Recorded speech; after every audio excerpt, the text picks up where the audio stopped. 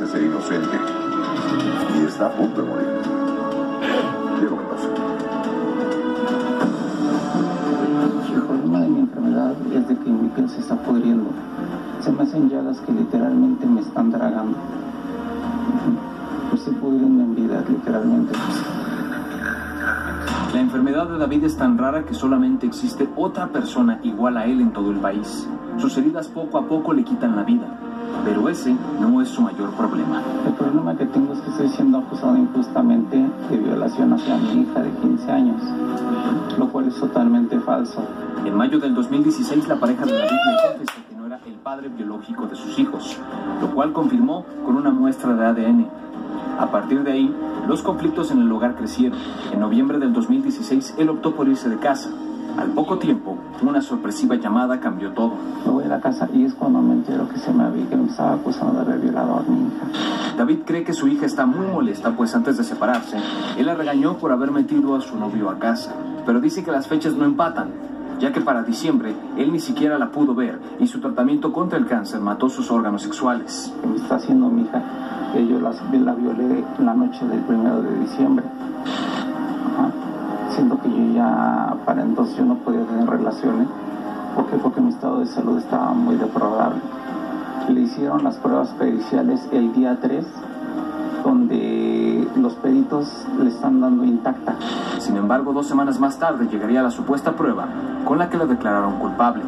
Y hasta el día 16 de diciembre le hacen otra supuesta prueba de ADN, de, donde, de fosfata, perdón, donde supuestamente le están encontrando muestras de semen. Y que es por la causa que a mí se me está deteniendo. David solicitó pruebas de ADN al semen, pero esas desaparecieron. El 21 de febrero del 2017 fue detenido y llevado al penal de Chiconautla, del cual fue liberado siete meses más tarde por razones humanitarias. Ante las autoridades, él sigue siendo un violador, por lo que interpuso una apelación para revisar su expediente y así conseguir que su nombre quede limpio. Desea luchar una última vez antes de partir. A pesar de que estoy desahuciado, yo lo que quiero es reiterar mi inocencia y solicitarle a las autoridades que tomen en cuenta mi recurso de apelación. Con imágenes de Daniel Miguel para quien corresponda, Diego Mendoza.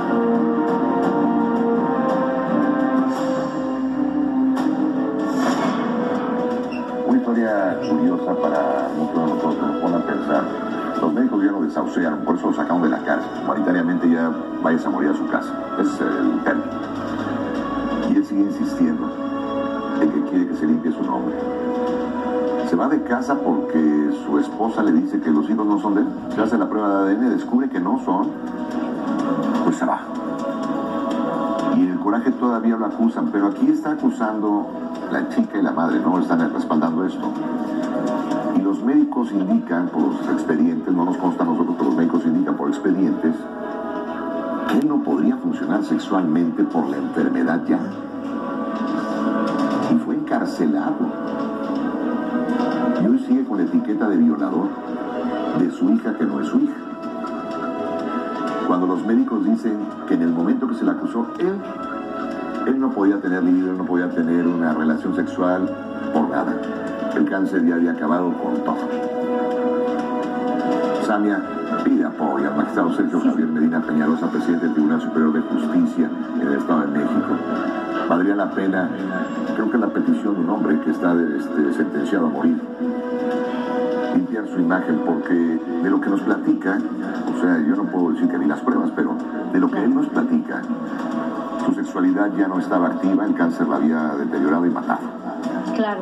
Eh, él se va de casa y en un arranque de no sabemos qué, lo acusan de violación y lo encarcelan. Y hoy a punto de morir, lo único que quiere es morir Limpiar su limpio. Claro. Sí, señor. Claro que sí, con mucho gusto en este momento lo enviamos. Ah, qué cosa, ¿verdad? Pero bueno, Qué triste. Claro que sí.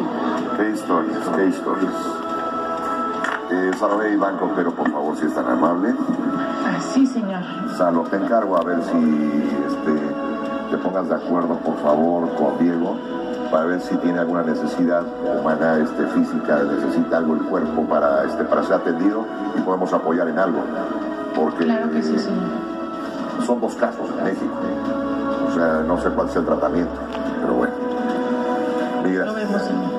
lo vemos, señor. Gracias, gracias, te lo agradezco. Hoy nuestra sala de atención está el personal de la Dirección de Atención y Audiencia Ciudadana del Gobierno de la Ciudad de